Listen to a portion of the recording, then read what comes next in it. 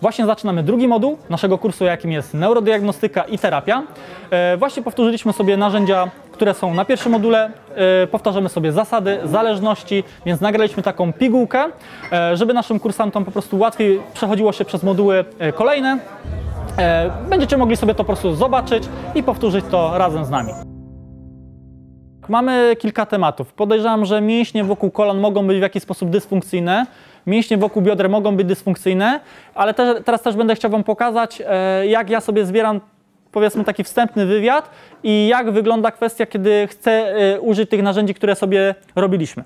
Zaczniemy sobie od takiego prostego testu, jakim jest mięsień e, na, znaczy test na mięsień pośladkowy, czyli tak, lu, luźno, luźno, tak? To jest pozycja wyjściowa, ja będę szedł w tym kierunku, tak? A ty utrzymaj tą pozycję, tak? Dobra? Trzymaj. Dobra. Ok. Trzymaj. Dobra. A daj jeszcze raz, trzymaj mocniej. Dobra. Wyhamowuje się. Dobra. Jeszcze raz trzymaj. Dobra, ok, puść. Dobra. Druga noga, trzymaj. Dobra, jeszcze raz trzymaj, proszę. Dobra, ok. Mamy już mięsień, który działa i mamy mięsień, który nie działa. Gdyby była kwestia taka, że y, Justyna byłaby w stanie utrzymać ten mięsień, no to znowu zrobiłbym, zrobiłbym manipulację. Jeżeli nadal by trzymała, to byśmy mieli mięsień hipertoniczny. Tak? To jest zrozumiałe? Super. Dobra. No to już tak, już wiemy, że pośladek po stronie prawej nie działa, jest dysfunkcyjny, no to zobaczymy jak wyższe piętro. Ja sobie na początku testuję te większe grupy mięśniowe. Trzymaj tutaj do prawej. Ok, trzymaj. Ok, daj nogi do mnie. Trzymaj. Ok, mamy obustronne wyhamowanie. Czyli znowu, mogę od razu sobie zobaczyć, czy to jest problem związany z kręgosłupem. Czyli zrobię sobie ułożenie w stawie. O, zrobię tak, żeby było mi łatwiej. Zrobię sobie trakcję. Trzymaj. Ok, nadal nie działa. Układam do testu. Robię kompresję. Trzymaj. Nadal nie działa. Czyli wiem, że to nie jest problem związany z kręgosłupem. W tym przypadku, jeżeli chodzi o mięsień czworoboczny lędźwi, to będzie to jelito grube. No i teraz mógłbym sobie przejść do lokalizacji wokół narządu albo wokół punktów Chapmana, ale na razie tego nie będziemy robili. Na razie zbieramy informacje. Dobra, to zobaczmy sobie, jak wygl wyglądają te kolana, czyli tak. Potestujmy sobie prosty uda. Trzymaj. Ok. Trzymaj. Ok. Hipertonia. Luzik. Druga noga. Trzymaj. Ok. Trzymaj. Ok. Tak? Wyhamowane. Tak? Czyli już widzimy, że ta prawa strona jest jakby bardziej obciążona. Mamy to? Super.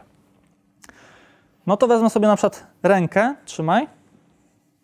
Trzymaj. Ok. I tutaj jest mięsień, który działa yy, i jest możliwy do wyhamowania.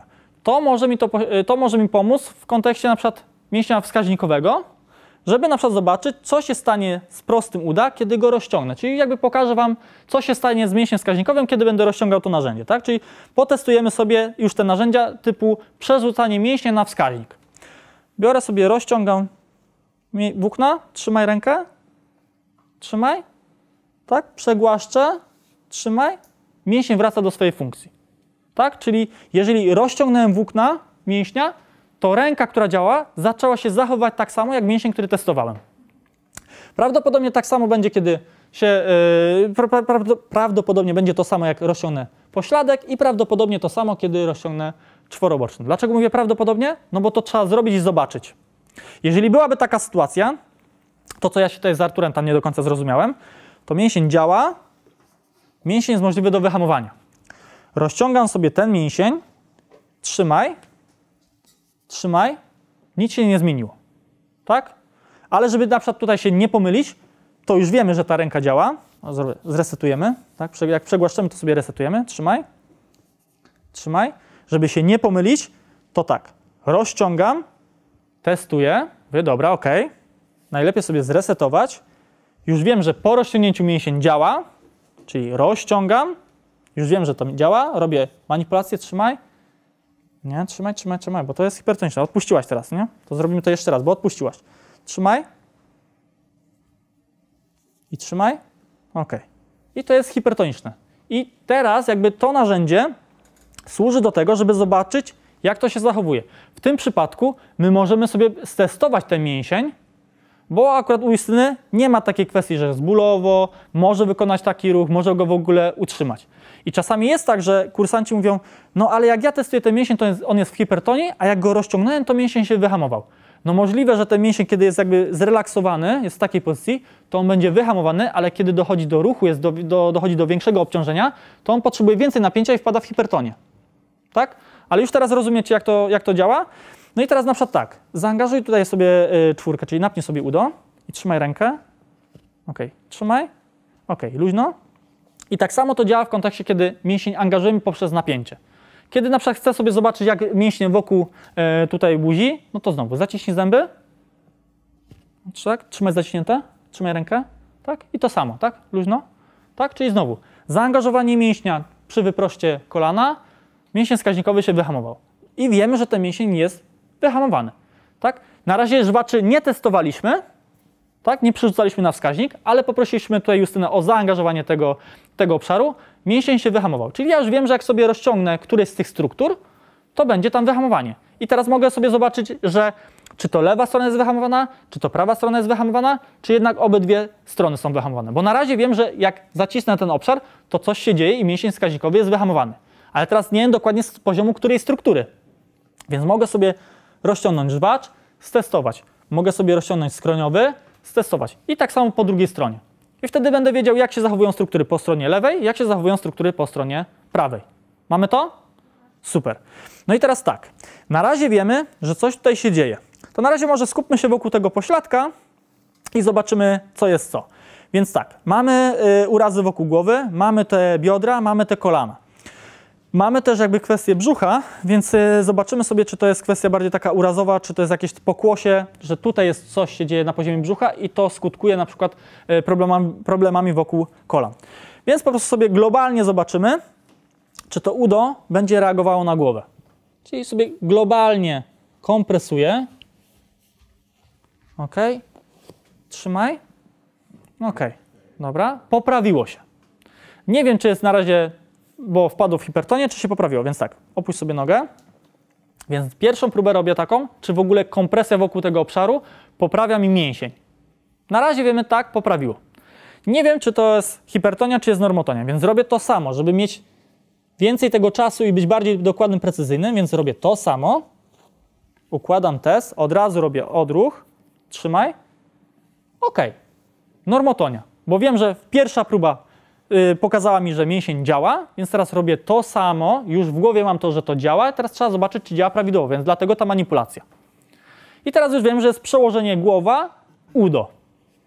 No to zobaczmy, czy jest przełożenie głowa, pośladek. Żeby być, y, żeby tak znowu nie latać, wiecie, stąd noga, będzie mi trudno, to spróbuję sobie zlokalizować, co się dzieje, kiedy pokompresujemy sobie stronę lewą, pra prawą, przepraszam. Daj nogę. Trzymaj. OK, nic się nie poprawiło, czyli już wiem, że nie prawa. No to eliminuję kompresja wokół strony lewej. Trzymaj. OK, dobra. I teraz, żeby być dokładnym, to mogę sobie przejść do lokalizacji, czyli biorę dwa palce pacjenta i przykładam mu gdzieś randomowo w jakieś miejsce. Chyba, że wiem, że ma jakąś tam bliznę, bo faceci będą mieli krótkie włosy, no to będziecie widzieli, czy tam jest jakaś blizna, czy coś takiego, no to od razu kierujecie się na bliznę. Jak nie wiecie, no to po prostu trzeba to randomowo gdzieś tam się zawęcić. No ok, to jedziemy. Trzymaj. Nie. I szukamy dalej. Trzymaj. Ok, poprawiło się. Trzymaj. Ok, a trzymaj jeszcze raz, trzymaj jeszcze raz.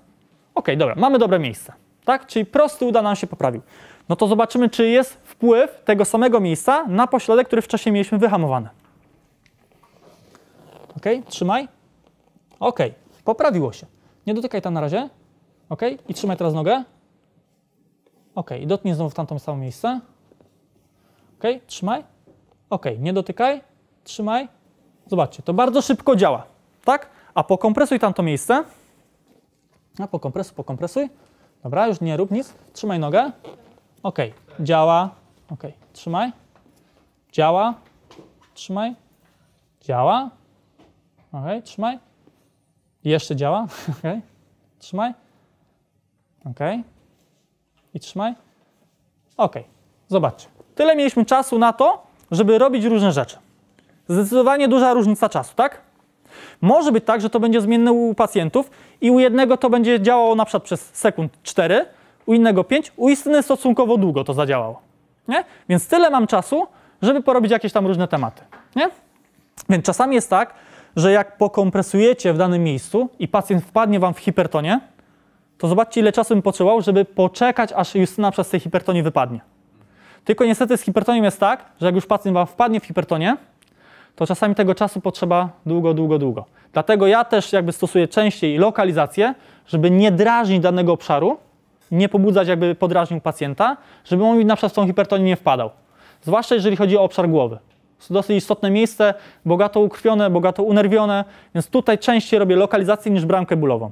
Bo akurat w tym, momencie, w tym momencie wiedzieliśmy, że ten obszar poprawia nam tą nogę i sobie jakby robiliśmy już lo lokalizację, tak? Ale równie dobrze mogło być tak, że Justyna po mojej pierwszej kompresji wpadła mi, wpadłaby mi w hipertonię i bym już wtedy może zaczął bardziej używać lokalizacji, a nie, a nie bramki bólowej na przykład, nie? Więc już mamy miejsce, które nas interesuje powiedzmy w kontekście biodra. Możemy zobaczyć, czy to samo miejsce poprawi nam czworoboczny lędźwi. To zróbmy to. Tak? Więc tak. Ok. Najpierw sprawdzam sobie prosty uda. Ok. Trzymaj. Ok. Bo już wiemy, jak prosty uda się poprawi, to poślad też się poprawia. Super. To sprawdzamy teraz czworoboczne lędźwi. Trzymaj. Ok. Ale widzicie, głowa nie poprawia nam dysfunkcji wokół odcinka lędźwiowego. Więc prawdopodobnie to nie jest tak, że o, głowa nie jest do leczenia. Głowa jest jakby w kontekście uda i biodra, ale nie w kontekście czworobocznego lędźwi. Nie? Więc może być tak, że znaleźliśmy sobie dwa problemy u pacjenta. Że czym innym będzie problem związany z cylindrem brzusznym i tutaj jelitem grubym, bo może od jelita grubego jakby sobie wyjdziemy, to znajdziemy inne miejsce, ale jeżeli chodzi o głowę, to ona nam wpływa tutaj na kończynę dolną po stronie prawej. I na razie jakby nie będziemy sobie robić takiej dokładnej e, jakby diagnostyki, tylko po prostu pokażę Wam dalsze narzędzia, jakbyśmy sobie robili e, to w kontekście biodra. Czyli już wiem, że mam miejsce, a teraz chcę zobaczyć, czy to miejsce jest dla mnie istotne. Czyli najpierw robię sobie powiązanie między mięśniem a miejscem, które znalazłem, tak? Czyli sobie o, robię odruch, trzymaj. Ok, a może sama sobie tam dotykać, e, tamtą ręką, bo opuść, bo potrzebuję, wolę mieć dwie ręce. Ok, trzymaj. Ok, trzymaj. Zobaczcie, upewniam się, że jestem w dobrym miejscu cały czas, bo to jest dla mnie bardzo istotne, bo może być tak, że przesunę się w inny punkt i już nie będę jakby pracował w kontekście tego, tego e, kolana. Ok, trzymaj. Dobra. Mamy normotonię, czyli nie ma powiązania między ręką i moim mięsiem wskaźnikowym, a miejscem, które chcę zbadać. I dopiero teraz przechodzę do podwójnej lokalizacji. Tak, robię podwójną lokalizację i mięsień wskaźnikowy się wyhamował. I to jest to miejsce. I teraz zobaczcie, coś Wam pokażę. Teraz, jak wiemy, że jak zrobimy sobie kompresję wokół tego miejsca, to mięsień dysfunkcyjny się poprawia. Jak zrobię sobie kompresję w tym miejscu, trzymaj rękę, to się mięsień wskaźnikowy popsuł. Czyli zrobiłem to samo, tak? ale inaczej to reaguje na mięśniu dysfunkcyjnym, a inaczej to reaguje na mięśniu wskaźnikowym. Ale żeby sobie się nie pomylić, to drażnienie robię tak, że przykładam palce i sobie to po prostu kompresuję z ruchem. I to jest dla mnie drażnienie. Więc ja mogę sobie podrażnić ten obszar, trzymaj rękę i mogę sobie to zastąpić podwójną lokalizacją. Tak? No. I teraz pokażę Wam, jak jeszcze mogę sobie zobaczyć, czy w danym obszarze jest jakaś dysfunkcja. Biorę sobie rękę i tutaj jakby jeżeli sobie chodzi o takie testowanie drażnienie, to nie musi być to mięsień wskaźnikowy, tylko to musi być mięsień normotoniczny, czyli silny i możliwy do wyhamowania. Łapię sobie kostkę, ruszam w różny sposób, trzymaj rękę, działa, trzymaj, wpadła w hipertonię. Czyli już wiem, że w tej kostce coś się dzieje i jak obciążyłem ten obszar u Justyny, to jej ręka wpada w hipertonię. Tak, trzymaj, trzymaj, ale już z tej hipertonii wypadło. To zobaczmy, co się dzieje w kostce prawej. Trzymaj. Odruch, trzymaj. Widzicie? Na ten moment w prawej kostce nic się nie dzieje, bo zrobiłem dokładnie to samo, ale reakcja na wskaźniku jest zupełnie inna. Tak samo mogę sobie zobaczyć, czy jest jakiś problem wokół kolana. Podrażnić, pokompresować, porozciągać, trakcja, kompresja. Trzymaj. Ok? Trzymaj. Znowu hipertonia. Tak? Robimy drugie kolano. Trakcja, kompresja, jakieś ruchy takie właśnie os oscylacyjne. Ok. Trzymaj. Tak? Czyli oba kolana. Oba kolana. O, oba kolana, tak? Tylko jedno kolano hipertonia, drugie kolano wyhamowanie. Nie? I ja nie wiem na razie, jakie miejsce w ciele Justyny wpływa na ten obszar. Ja po prostu sobie randomowo znalazłem, że coś tutaj się dzieje. I teraz ja mogę na przykład zobaczyć, co wpływa na ten obszar. Czyli mogę na przykład wrzucić ją w dysfunkcję, ona będzie tymczasowo wyhamowana, mogę dotknąć na przykład obszaru, który znalazłem i zobaczcie, głowa w ogóle mi nie poprawiła teraz tego obszaru. I znowu mogę wrzucać ją w dysfunkcję, mięsień wyhamowany i szukam miejsca, które będzie mi to poprawiało. Na przykład, nie? I tak sobie szukam na przykład, już trochę bardziej takie skrótowe myślenie, nie? Ale jak sobie wyjdę od mięśnia wskaźnikowego, yy, przepraszam, nie wskaźnikowego, tylko dysfunkcyjnego, to ja dojdę do jakiegoś miejsca, no nie? I możliwe teraz, że jakbyśmy zrobili sobie tutaj terapię na głowę u Justyny, to jakieś mięśnie by się poprawiły i ja teraz mogę na przykład wrzucać ją w zaburzenie, czyli naprawię i zaraz będę to psuł. I zobaczę sobie na przykład jaki obszar obciążę i dysfunkcja tutaj wróci. Bo teraz tak, jeżeli naprawimy to miejsce jakimś bodźcem, no to podwójna lokalizacja nie powinna wyhamować tutaj wskaźnika, prawda? I drażnienie w tym miejscu też nie powinno wyhamować wskaźnika. I powiedzmy, że robimy próbne leczenie, powiedzmy, że robię sobie tutaj drażnienie, nic się nie dzieje, super, zaburzam sobie na przykład cylinder brzuszny takim kompresją, takim drażnieniem, wracam do tej głowy, drażnię i ręka jest wyhamowana. Czyli wiem, że naprawiłem dysfunkcję, ale jak obciążę u pacjenta obszar brzucha, to sprawi to, że ta dysfunkcja mi wróci. Więc dla mnie na ten moment już nie jest tak ważna głowa. Wiem, że głowa jest ważna w kontekście tej nogi, ale nie jest w kontekście tutaj pacjenta. Że póki ja nie wyłączę jakiejś dysfunkcji wokół brzucha, to ta głowa cały czas będzie mi wracała. Dlatego czasami tutaj macie pacjenta, który, u którego udaje Wam się usunąć dysfunkcję na stole, ale pacjent wstaje, pochodzi, kładzie Wam się na stole i to, co działało, już znowu przestało działać. I Wy mówicie, kurde, ja nie wiem, jak znaleźć tą dysfunkcję, która wpływa mi na to, co ja teraz znalazłem. Nie? I to jest jakby, ja to nazywam, że jak coś naprawię, to próbuję to potem popsuć. Nie? Teraz jaśniej? To te, te narzędzia, które sobie omówiliśmy przed chwilą. A co nie jest jasne? Ania? Nie, mnie to się musi poukładać. Okej, było, do, okej, dobra, to się nie czepiam. Tak? Znaczy tak, to, mogę, to narzędzie mogę sobie wymieniać, tylko że drażnienie wam powie, że coś się dzieje w obszarze. Ale tak naprawdę nie mówi ci o ważności tego, czy tutaj jest miejsce do terapii, czy nie. Po prostu podrażniasz dany obszar i ci, i ci wskaźnik mówi, że coś się dzieje z kolanem, tak? Czyli ja przed chwilą sobie sprawdziłem i prosty uda jest wyhamowany, jakby jest w hipertonii. Ten prosty uda jest w hipertonii. Ale być może pozostałe głowy wokół czwórki są wyhamowane. Więc teraz ja mogę sobie zobaczyć, jak te pozostałe mięśnie i będę wiedział, czy one są w hipertonii, czy są wyhamowane, co tam w ogóle się dzieje. I wtedy jakby już się zagęszczam do tematu. Tutaj Justyna powiedziała, że bardziej ją interesuje obszar e, buzi, tak, bo bruksizm. Więc dlatego nie szedłbym w takie specyficzne, dokładne testy wokół kolana, tylko bardziej bym sprawdzał, co się dzieje tutaj. I bym spróbował zrobić tak, że ona zaciska zęby i mięsień wskaźnikowy nie wpada w wyhamowanie i potem mógłbym sprawdzać sobie, czy dysfunkcja wokół kolana nadal jest, czy nie ma. Nie? Bo mogłoby być tak, że znalazłbym na przykład miejsce dysfunkcji. Powiedzmy, że e, mięśnie wokół brzucha działają gorzej, bo na przykład jest e, blizna po e, wyrostku robaczkowym i ja wychodzę sobie od tego miejsca i znajduję to miejsce i jak naprawię to miejsce, to pozostałe dysfunkcje, których nie znalazłem, też mogą się wycofać. Ale po prostu znamy już te zależności, że jeżeli coś jest wokół cylindra brzusznego, e, typu blizna, to ona zaburza pracę toniczności wokół cylindra brzusznego, co się potem przekłada na pracę kończyn dolnych i przekłada się na pracę kończyn górnych. Więc my znamy te zależności, ale my nie musimy wszystkiego testować, tak? Bo ja jakbym chciał testować całego pacjenta, to, była, to minęłaby mi godzina. I wtedy nie mam czasu na terapię, no nie? Więc ja jakby wybiórczo sobie testuję jakiś obszar, szukam miejsca do terapii, robię terapię i sprawdzam, czy ta terapia się utrzymuje. I to jest jakby zdecydowanie szybsze, niż jakbym chciał pacjenta całego przetestować i zbadać wszystkie mięśnie i potem zależności między dysfunkcjami, no nie? Więc jakby wybieram sobie problem pacjenta i wokół tego problemu się e, kręcę. Czyli pacjent tutaj mi powiedzmy nie, mówi, bolą mnie kolana, bolą mnie biodra i mam bruksizm. To ja mówię, czym pani chciałaby się dzisiaj zająć? No wie pan co, może wyjdźmy od tego bruksizmu. To na razie nie sprawdzam, co się dzieje tutaj wokół cylindra brzusznego i nie do końca sprawdzam, co się dzieje wokół kolan. Tak? Tylko wychodzę sobie od tego obszaru i sprawdzam, czy pozostałe inne obszary wpływają mi na to, że ten obszar cały czas nie może załapać e, terapii. I wtedy jak naprawię buzię, drażnię brzuch, buzia się psuje, to wtedy przechodzę do obszaru brzucha. I wiem, że jak naprawię brzuch, to ten problem się wycofa. Ale wtedy, żeby sprawdzić, co się dzieje wokół brzucha, no to już wtedy muszę potestować mięśnie wokół brzucha. Czyli czworoboczny lędźwi, poprzeczny, prosty, skosy, yy, naprężacz, pośladek. To by, to by mnie wtedy interesowało i wtedy moje, moja praca by się przeniosła z tego obszaru na ten obszar. I wtedy robię terapię, no nie?